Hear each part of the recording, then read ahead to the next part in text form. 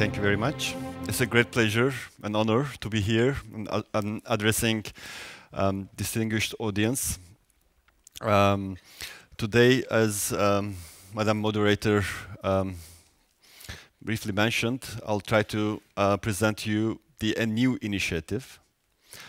Um, it's um, a Global Geothermal Alliance, a new global initiative that was um, started very recently. I mean, the process started a long time ago, but the um, the initiative uh, has been uh, launched uh, officially a couple of months ago during COP21 in Paris. And I'll try to introduce you the initiative and, uh, as a platform for dialogue, cooperation, and coordinated action of, of various uh, stakeholders, players, uh, geothermal players um, on the ground. So um, briefly on on, on geothermal, I think I don't need to um, explain it to you. Probably this, this is already very well known to, to most of you. But as you know, geothermal isn't technology. It's a clean and mature technology. Um, it offers um, uh, power, baseload, um, baseload power, and whenever needed, flexibility. Um, it is an it is basically an, a zero emission um, resource um, and its environmental impact is uh, insignificant. Um, but the question is, why the modest growth? So it is just growing around 3 to 4%, where compared to uh, some other renewable energy technologies, which, which are growing much faster. Uh, but uh, what are the main challenges that the sector is facing? I think some of these challenges has already been uh, discussed, I think, in, in, different sessions and will be also raised maybe uh, later today. Um, of course, very well known the, um, the exploratory risk and resource assessment um, risk, uh, the high cost and associated risks, policy uncertainty, um, and the absence of clear and long-term vision of governments um, committed to development of geothermal energy and related um, regulatory um, arrangements, which includes um, issues related to, to, how to deal with the environmental aspects, how to deal with licensing, how to deal with permitting, etc. Um, on the capacity side, um, the um, lack of institutional capacity in many countries and the developing countries especially, and shortage of skilled personnel. personnel. and um, maybe it's the, one of the main uh, challenges is the low awareness and limited information in decision makers, in the governments and in utilities. And um, that's the, the, the, sector is facing and which has an impact on the pace of growth um, of uh, geothermal development. So the starting point for geothermal, global geothermal alliance is this question, whether international cooperation and strategic partnerships can help overcome key geothermal challenges and to what extent. So Global Geothermal Alliance has been developed as a response to this question. Um, as I told you uh, during COP21, um, the, um, th there was this official launch and there was a joint communique on the Global Geothermal Alliance released by the members and partners of the alliance, which are committing to work together, co closely cooperate, to address to these challenges and to unlock the potential um, in many countries that the sector is facing. So it, is, it has not been an easy process. It was a long and windy road. And the, uh, it started in early 2014 and the, over the last two years, um, there has been extensive consultations, discussions um, among governments, um, with the private sector, with the industry, with uh, regional organizations, financial institutions, and to see um, what is needed and what should be the priorities and what, what should be the structure and um, the operational principles of the alliance, etc. So it has it started in the um, um, um in early 2014 and in, at several um, platforms, and some of them are are, are shown in this on this slide. Uh, but also there has been a lot of uh, bilateral discussions, uh, multilateral dialogue, um, face-to-face -face meetings, um, video conferences, teleconferences to, to come to this point. So basically it was only uh, at the end of last year that we were able to uh, finalize the, the concept and uh, come to an agreement among an important number of uh, countries and other partners to launch the initiative. Um, so, of course, I mean, what's the what um, the main objective of the alliance? Of course, the, the, main objective is to how to increase the penetration of um, geothermal energy into the energy mix, um, as in the form of um, power generation, but also um, through uh, other uh, non-power applications related to geothermal use. Uh, but we also set an aspirational goal uh, for Global Geothermal Alliance, which is um, increasing um, up to uh, up to five times the um, uh, in in geothermal power and more than doubling of geothermal heat. So where do these um, um, numbers come from? It comes from IRENA's analysis. IRENA's analysis, which is called Remap 2030.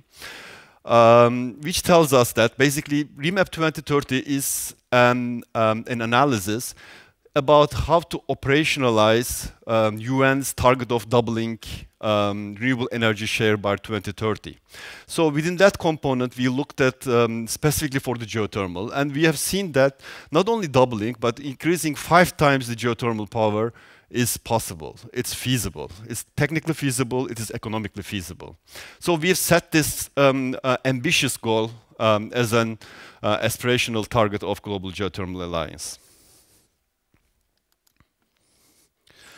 So who are the partners, members and partners of the Global Geothermal Alliance? As you see, it's, an, it's across the globe. There are 40 countries uh, already affiliated to, to, to Global Geothermal Alliance. And, um, and those countries are, uh, some of them are with um, developed, already, uh, developed um, geothermal markets, and some of them are emerging geothermal markets. Um, and um, those countries have already expressed um, their commitment to be part of this initiative. And additional 27 uh, partners have already expressed interest and commitment uh, to be part of the alliance. So um, there are, among those, there are regional organizations, there are global organizations, international organizations. There are uh, IFIs, international financing institutions, um, multilateral development banks, uh, bilateral institutions.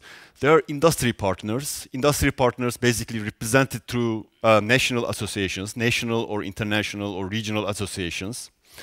Um, there are there are also uh, various um, research institutions and representatives of academia. So basically, uh, Alliance is bringing together um, all stakeholders relevant to the uh, different segments of, um, of uh, geothermal supply chain um, around the table to, to develop a dialogue and, and cooperation. So what are the main areas of functionality of Global Geothermal Alliance? Of course, it's a platform for dialogue and cooperation that I, I repeat telling you.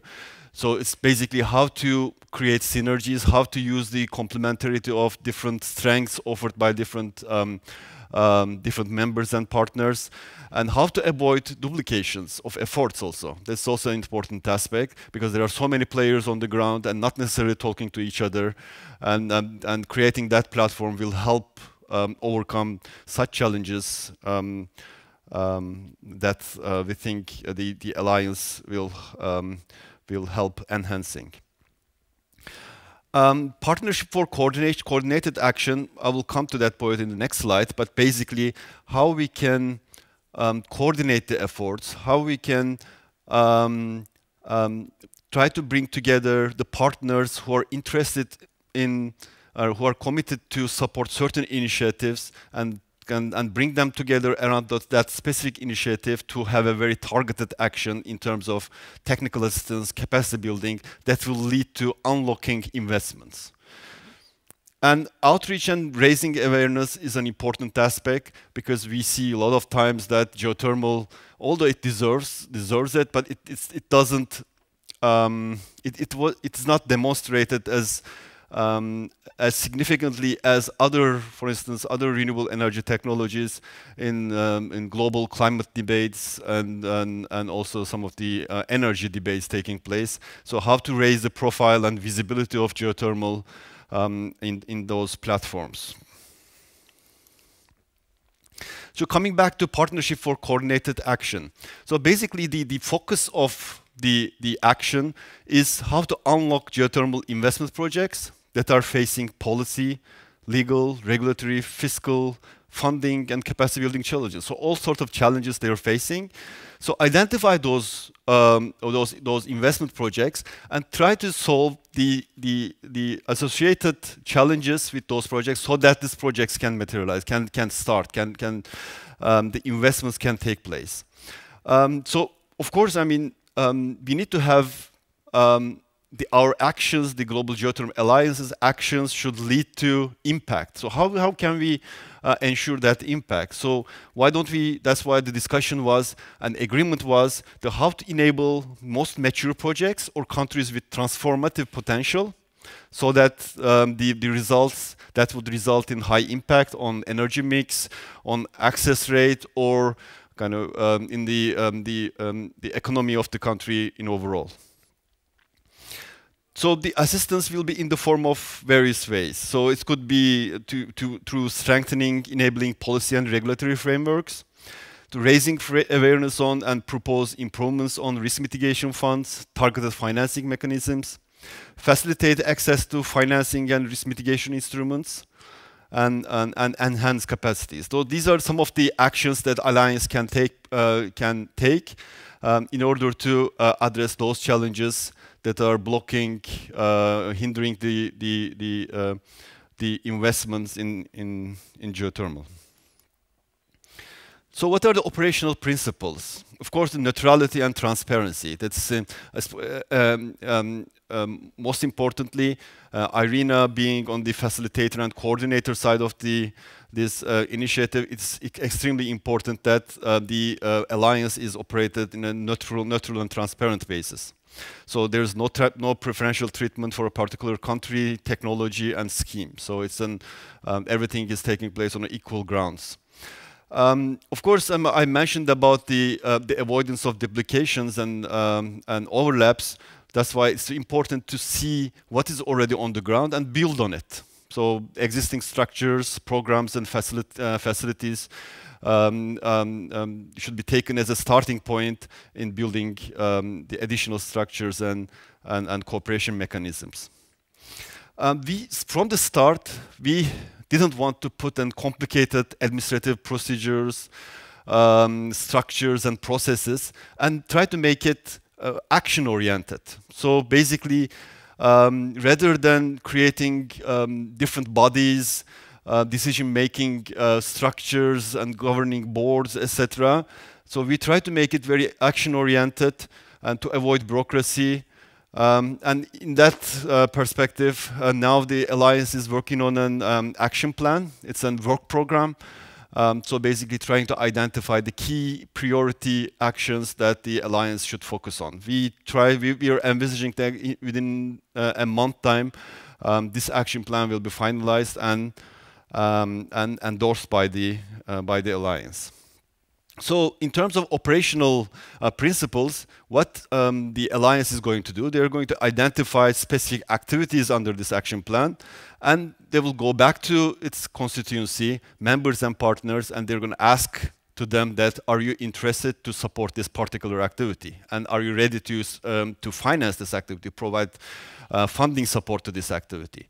So around each activity, there will be uh, an, a number of uh, members and partners who are uh, already committed to uh, to support this particular activity, so that um, that's small groups of activities with to take the action forward, and basically to come up with then results in an, in the shortest possible um, time. In terms of priorities of actions, of course, we developed also an, uh, a criteria in selection of, uh, of actions and projects that could be supported by the alliance. Of course, I mean, if, you, if you're going to do a project and, an activity in one country, uh, there should be an uh, acceptance and interest expressed by the recipient government or re regional organization or whoever recipient is. Uh, of that um, GGA's technical support. So that, that's an important um, uh, criteria. Um, contribute to near-term improvements of enabling frameworks for investment, so the action should lead to outcome. um, and sustained impact on fostering geothermal deployment. So the most impactful activities to be to be to be chosen. Um, of course, it's the complementarity with activities of other development partners. So basically, um, in one country or one region, if the activity is uh, envisaged, so it should be it should take into consideration what's already on the ground and to complement it rather than compete with it. And as much as possible, the activities chosen should be replicable elsewhere in another country or in another region. So that will help scaling up the impact. so what's the role of IRENA in the GGA? It has two functions. One is the, to coordinate and facilitate the GGA activities. So it's about coordinating the work program, organizing meetings, um, to help in the selection of uh, priority projects that um, the, the uh, alliance is going to focus on, um, etc. But there's a second function, which is the supporting regional and country-specific uh, activities. Of course, they should be in, in line with IRENA's own um, work program and um, and the availability of resources. So basically, IRENA also uh, can uh, take part in some of those activities, not necessarily in all of the activities, but in some of the activities, IRENA can can um, be part of um, the um, the group of um, uh, GGA members and and um, partners who are supporting that specific activity. Of course, IRENA has al already several uh, regional or thematic uh, programs which are um, taking place under IRENA work program. Uh, Lighthouses is a support program for, for, for islands. So in, in Pacific and especially in Pacific and in Caribbean, um, there are various islands um, which are of um, uh, which are which have um, uh, rich um, geothermal resources. So the under uh, the SIDS Lighthouses program, the geothermal aspect, the geothermal part is also quite significant. Um, clean energy corridors that we have been implementing in different parts of the world. So basically how to integrate more renewables into the national um, systems as well as how to promote cross-border trade of renewable electricity. We are implementing in Africa, uh, in the eastern southern Africa, of course, in the eastern Africa, um, uh, countries, it's very relevant. Geothermal aspects are very relevant. Now we started implementing in Central America also. That's very relevant. So uh, wherever it's relevant, the geothermal aspects are al already taken um, um, taken into uh, consideration. And there are two new uh, initiatives that IRENA started. Uh, one is the Pacific Capacity Building Initiative, as well as the, um, the methodology for skills needs assessment that we have developed during our project in Andes region. So we want to, we are planning to implement it in, in other regions to help countries to make a uh, thorough assessment of, of skills, geothermal skill set that they have and what, what is needed, what is not. On top of that, of course, IRENA has a um, rich toolbox of um, um, of various instruments that make that's making available to uh, the to the Global Geothermal Alliance, renewable readiness assessment, post uh, RRA advisory technical assistance, the remap that I have already referred to earlier, as well as there are certain um, um, um key uh, flagship initiatives such as Sustainable Energy Marketplace, uh, which was initiated in different parts of the world to how to, it's a matchmaking service between the projects and, and financial institutions and how to facilitate access to financing. Um, Global Atlas is the uh, tool uh, for resource assessment. There's an um, geothermal um, um component of Global Atlas, which is providing uh, geothermal resource maps um, globally. So these are the uh, some of the tools that are uh, that IRENA is offering, and also with the help of the GGA, we want to further develop those tools um, and and and make make them available for um, our membership, for the GGA membership and and and the partners. So finally, final words on the alliance is basically success and sustainability of alliance depends on various factors, but um, most importantly, maybe of course, and continue, continuing commitment and participation of its members and partners is essential. And their, the credibility of the alliance as an authoritative sort of information um, that will also have an impact on that. But most importantly, the actions that alliance is going to take should lead to substantial impact on the accelerated uh, on acceleration of the um, the geothermal deployment. So that will be very critical on the future of uh, the alliance. And I um, we have already an um, broad agreement within the alliance that that should be the highest priority in the actions that alliances are alliance is going to undertake. Thank you very much.